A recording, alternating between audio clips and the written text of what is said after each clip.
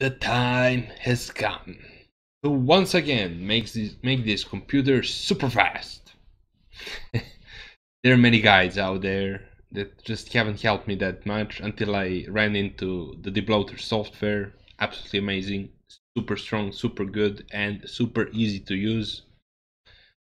In my opinion, an absolute staple with every PC that uses the freaking Windows 10 know, there's so much stuff in Windows 10. It's more confusing than helpful. So yeah, they just packed everything. They just, and they're like, just use it. You know, everyone has a 10k PC, so they'll be fine. No worries. Well, the catch is that Windows 10 is it's making everything laggy. Even while you're watching this video right now, it might be laggy for you. Anyway, this is gonna fix it. I'm not gonna make this intro too long. so, in the video description, I put the link to the site. That's it's it's called GitHub. Some of you may know it because you're nerds. That's like me. It's fine. And uh, use use that link make an account. I already have one, so I'm not gonna make a new one. Screw that. I believe in your capabilities.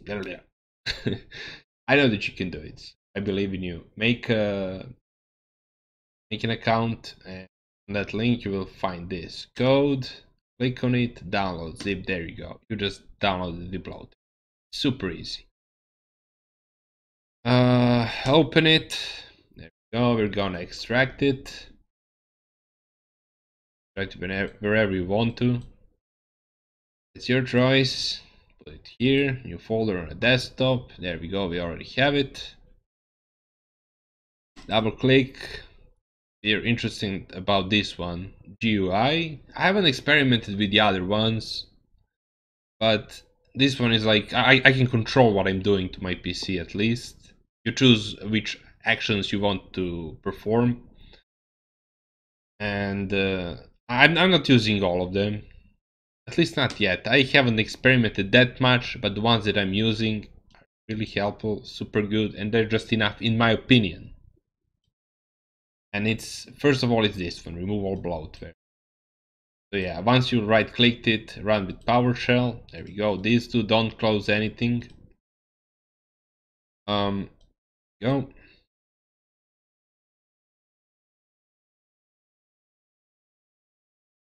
This this one. Thank you. See what we have. Remove all bloatware. Click. There we go. And it's removing. Let it remove the tasks. Let it take its time. It's doing stuff right here. Oh it says not respond it is responding don't worry. Let it take its time. Uh, if it tells you that it needs to be run as an as uh, administrator here. Just press A and enter okay? That's all. It's not asking me it's probably not gonna ask you too but if it does just press A or Y. Just press A. Keyboard and enter.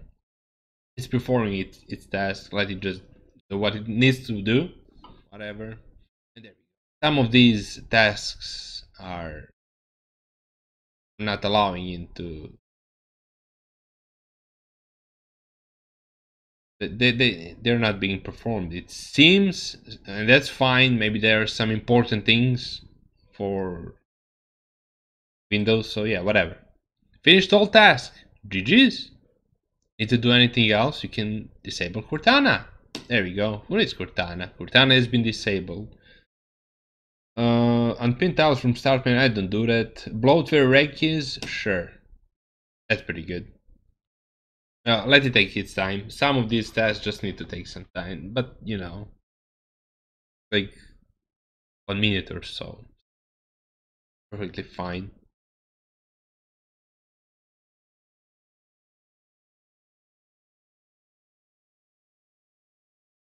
Uh, I'm I'm not using this one. Uninstall OneDrive. Hell no. I'm not using this one as well. Not needed. I disable Cortana. I remove bloatware, bloatware reg keys. And that's pretty much it needs to be done. After this, your computer will be super fast. I mean, just just let me know if it worked out as well as it did for me. I'm here to I'm here to do this and share how it's done when your computer gets laggy and stuff. So this is it. Everything has been done. X, X, everything closed and you're ready to roll. You liked it? Please just subscribe to my channel and follow my Twitch as well.